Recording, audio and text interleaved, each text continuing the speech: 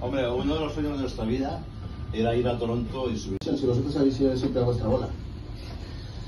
Pues porque la verdad que es un placer eh, trabajar con la Ignition, que es una quizá la, la- la compañía number one del mundo en, en conciertos. Son los que traen a los grandes, grandes a, a tocar a España y a todo el mundo. Y en este año, esta, esta vez han hecho una excepción, nos han traído a nosotros. Eh, mucha gente, seguro que los que están aquí están preguntando, pero no es una gira más de hombres G, porque os hemos visto en mil sitios tocando. ¿Por qué es distinta esta gira? Bueno, esta es la gira que siempre hemos querido hacer. La verdad es que mm, eh, creemos que cumplir 40 años es algo muy, muy especial. O sea, son 40 años los mismos cuatro amigos toda la vida desde que éramos unos niños.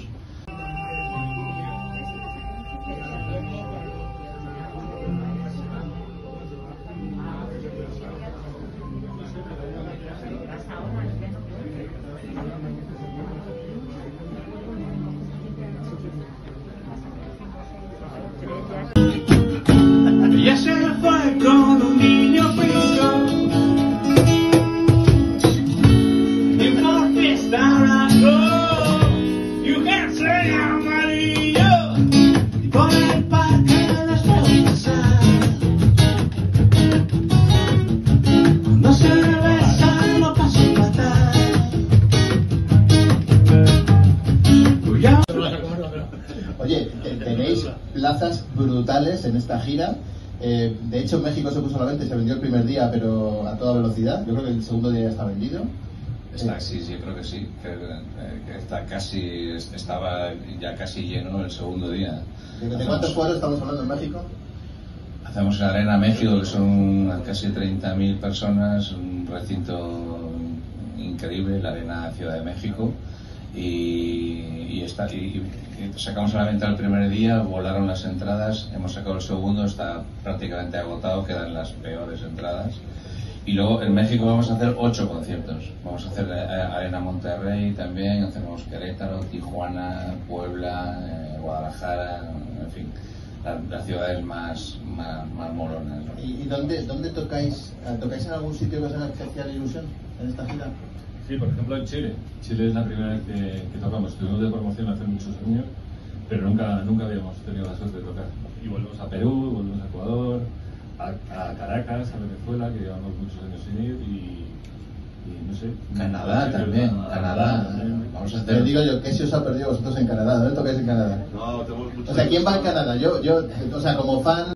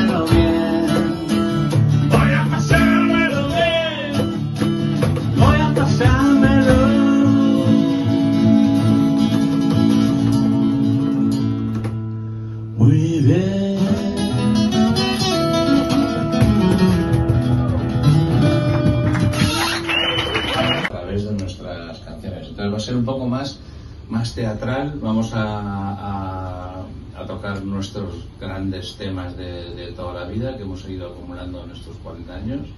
El público lo va a pasar de maravilla, pero va a ser algo distinto y especial, como todo lo que va a ocurrir este año. ¿no? Tiene como tres fases, ¿no? El concierto.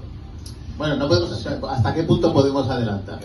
No queremos desvelar mucho porque queremos que sea una sorpresa. No queremos hacer spoiler. Para nuestros fans. Pero sí va, quiero que la gente que diga, ah, no, yo los vi el año pasado, yo los vi cuando tocaron aquí en mi ciudad y tal. No, no, eh, este, este concierto va a ser muy, muy especial y, y merece la pena. Es un concierto de larga duración, son casi dos horas y veinte de concierto. Y, pero es que no, no nos da tiempo a, a- a contar y a cantar todo lo que, lo que queremos ofrecer. ¿no? O sea que básicamente lo que hay que decir a la gente es o venís a este o lo vais a perder, porque no tiene nada que ver, ¿no? hecho spoiler tú con lo de los mexicanos. Claro. Bueno, vamos a ver, para que no sepa lo que es spoiler, ¿habéis visto Juego de Tronos? ¿Quién no, quién no ha visto Juego de Tronos aquí? Ven, que levante la mano. El Jon Snow no muere. Eso sería un spoiler, ¿vale? Eh, te he jodido la serie. No, pero no podemos hacer- hacer spoiler, pero digamos que hay tres actos, es una cosa muy chula montada. También es verdad, eh, comentaba con Rafa un día en- dentro de un concierto que antes hablábamos de tías y ahora hablamos de médicos, ¿no? Quiero decir, ¿aprovecháis esos eh, descansos en el concierto? ¿Ponéis algún vídeo para ir al baño por la próstata? ¿Cómo es? Nos viene bien este, este show porque sí que hay un par de, de, de, de espacios en medio del show y tal. Y aprovechamos Y el baño, siempre ¿no? decimos lo que hacemos, nos cambiamos de camiseta y tal, yo me cambio para el baño. no, sí, hombre, son cosas... No, pero hay una cosa que es verdad, que estáis, joder, yo os veo y estáis todos, os cuidáis un montón, ¿no? ni, ni cosas que están metidas en bolsas de plástico, cuidando un poquito la alimentación y haciendo ejercicio todos los días. No muy intenso, porque el, el boxeo he tenido que dejarlo porque tengo un poquito de artrosis y me duelen un poquito las manos y no puedo pegarle al saco, pero intento hacer ejercicio todos los días un poquito. Y van a sacar un curso de salud de cuídate como los hombres G, que era una de las sorpresas que había. que lo sepáis. fascículos, fascículos, el primero sale ahora, y cada mes vamos a publicar un cómo cuidarte, ¿no? Con un queso manchego, claro. Yo, mira, yo eh, he dejado el gluten solo, o sea, como cerveza sin gluten. No, escucha, Rafa se cuida mucho, que yo lo sé. Y se el tío hasta análisis de heces. Nos encontramos en unos sitios Sí, rarísimos. muy o sea, Rafa es un friki de la salud. Pero esto lo, lo contaremos otro día. Pero nos pasamos contactos. O sea, imagínate qué degeneración que... Degeneración. Antes hablamos... El pedo que teníamos que Rafa está en esa edad en la que ya no tiene rodilla derecha e izquierda, tiene la buena y la otra. ¿vale? No, yo jugaba, yo, la verdad, no, tienes razón, yo jugaba mucho a fútbol hasta hace unos años, y ya las rodillas palmaron, entonces hago bici. Y en mi casa no paro de subir de la guardilla al sótano, que pues ejercicio ahí, ¿sabes? Pero no por gusto, sino por, necesidad. Por necesidad, escaleras. No, pero yo hago un poco de dieta, el gluten, cerveza sin gluten, pero con alcohol. Tampoco mucha, es verdad, tampoco. Yo creo que la base está un poco en que un poco, un poquito de dieta y cuidarse.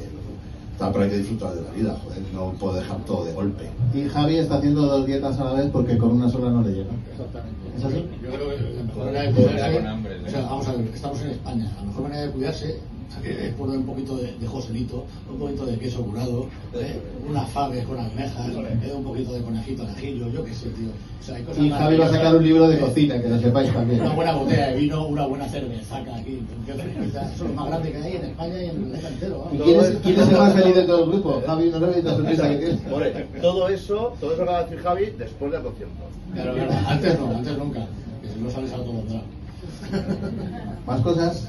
El top, ¿no? Nuestra profesión es, un lujo, ¿no? Tocar en estos sitios y encima reventarlos, ¿no? Y que te venga gente, eh, ancianos que han estado trabajando ahí toda la vida, como en el Hollywood Bowl de Los Ángeles, y te digan, no veía a la gente tan fervosa de, de Elvis Presley, de los Beatles, ¿sabes? Así, de claro, o sea, el sitio donde ha tocado, desde los Eagles hasta Supertramp, hasta, ¿sabes? Es, es una maravilla, ¿no? Para nosotros es una gozada, es una pedantería que lo diga a lo mejor, pero es que la verdad que la gente sepa también dónde estamos tocando en Estados Unidos, no estamos yendo a garitos, desde luego, ¿sabes? Yo creo que lo habéis vendido mal esto, y os lo digo porque os conozco. Porque habéis pateado muchos sitios antes de llegar al Madison Square Garden y eso la gente no lo sabe. O sea, la gente no sabe ese esfuerzo y luego tampoco habéis sabido vender que estáis petándolo en Estados Unidos. Pues yo hablaba con vosotros, decían, no, venimos de Madison Square Garden y yo decía, hostia, pues nadie, nadie lo sabe aquí en España, ¿no? Bueno, est- estamos acostumbrados a que ya en los años 80 eh, tocábamos en estadios en América, en Lima, en el Estadio Nacional de Lima, con 50.000 personas, no sé cuánto, y no se daba, digamos, la bola, ¿no? Nosotros eh, nos, hemos sentido a veces ninguneados y, muchas veces envidiados también, y quizá eso es una espinita que tenemos clavada con, con los medios, ¿no? Que, que no, que no, no hacían eco de, de todo lo que nos pasaba, ¿no? No sabemos por qué. En los 80 era muy difícil, no era como ahora que las redes sociales, el internet, todo se sabe instantáneamente y era muy difícil para nosotros eh, contar aquí en, España todo lo que nos estaba pasando, ¿no?